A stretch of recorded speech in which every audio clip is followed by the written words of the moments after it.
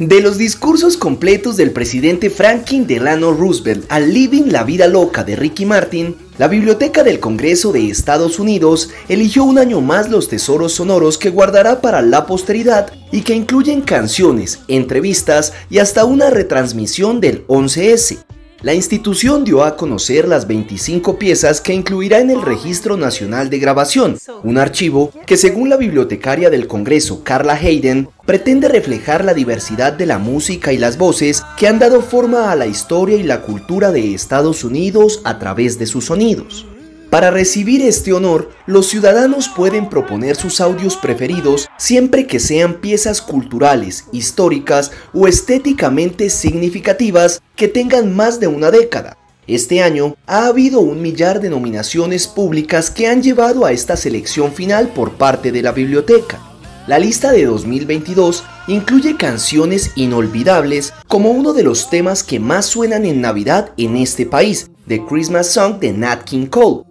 Bohemian Rhapsody, la pieza maestra de la banda británica Queen, que como subraya la Biblioteca del Congreso, rompe cualquier regla en el manual de las canciones de rock, está también en esta lista para no olvidar, así como uno de los temas más pegadizos del género, Don't Stop Believing the Journey. No podían faltar legados latinos entre la selección y por eso el puertorriqueño Ricky Martin entra en el archivo histórico con su célebre canción Living la Vida Loca de 1999. Estas y otras piezas conforman la nueva lista de 25 archivos sonoros que se suman a los sonidos que ya alberga el Registro Nacional de Grabaciones de la Biblioteca del Congreso de Estados Unidos, considerada la más grande del mundo.